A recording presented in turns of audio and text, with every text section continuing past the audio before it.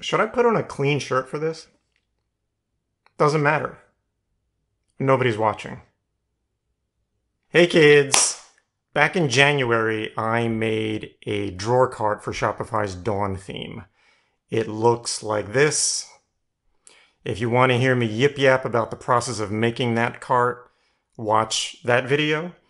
Um, today, I just want to say that there is an update for Dawn version 5.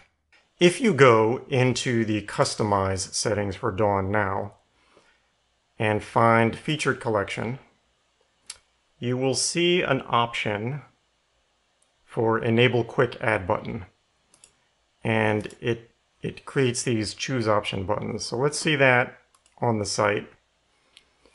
This is what your featured products will look like with that enabled.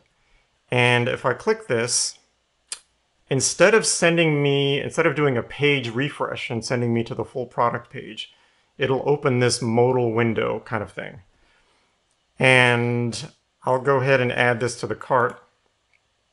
And you'll see the behavior is that it closes the modal window and opens the cart. By the way, that's what it does if there's no errors, right? If the thing is added to the cart successfully. I'm going to show you what it does if there's a problem. Uh, I know I only have one small of these in the inventory. So if I click add to cart again, it's going to say all one of these are in your cart. And so if there's an error, I'm not opening the drawer cart. I'm leaving the modal window open so the users can see the error reporting. So that's it. It's a new GitHub repo. Link below. Get it while it's hot.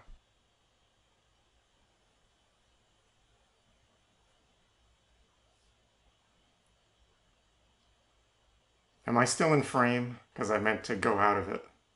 This is as low as I can go. Fuck!